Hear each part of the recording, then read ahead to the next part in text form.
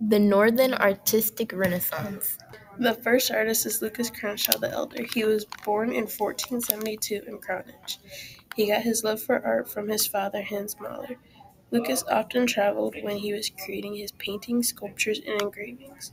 His most successful painting is a mural in the church St. Catherine. He finished the mural in 1506. His next piece was in the Netherlands. He spent several months creating his Holy Kindred altarpiece.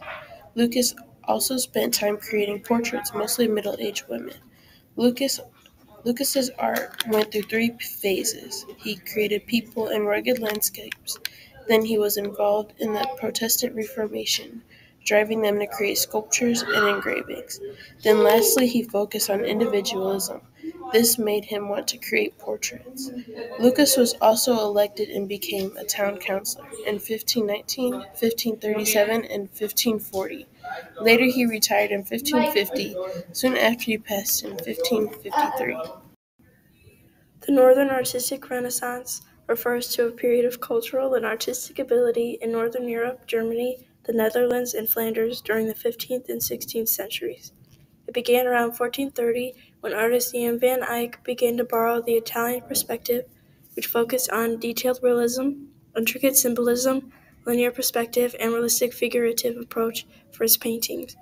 He was born 1385 and died July 9, 1441. He was known as a Flemish painter. Other artists from Germany, Switzerland, Austria, and the Low Countries began to incorporate those same influences into their own work. The Protestant Reformation stepped in idealization of beauty surrounding the Roman Catholic Church. Jan van Eyck achieved a sophisticated level of realism unknown in the art of painting, and around the 1500s, knowledge of the Italian Renaissance began to have an impact on Northern Europe art. The next artist is Hieronymus Bosch. He was born in the middle of the 15th century. He was a Dutch Netherlandish painter from Brabant. His real name was Joan van Aken before he changed it. His father and grandfather were painters as well. Bosch was one of the many noble representatives of the early ne- Netherlandish painting school. He married a wealthy woman named Aylin. She had land, funds, and status, which made it easier for him to start his workshop. Most of his art was oil and oak wood. His work consisted of religious concepts and narratives.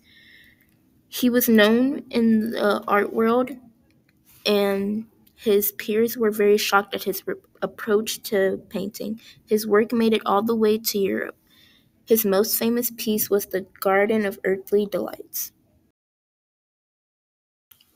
Renaissance refers to the term rebirth. In this case, it is the rebirth of art and literature. The Italian Renaissance is centered around the rebirth of Greek and Roman culture. The Northern Renaissance occurred in different areas of Europe around 1430. The Northern Renaissance used techniques similar to the Italian Renaissance, but did not have the same themes throughout the artwork or tools, which resulted in different styles. Because the artists rejected ideas of the medieval era, the Northern Renaissance helped to bring Europe out of the Dark Ages.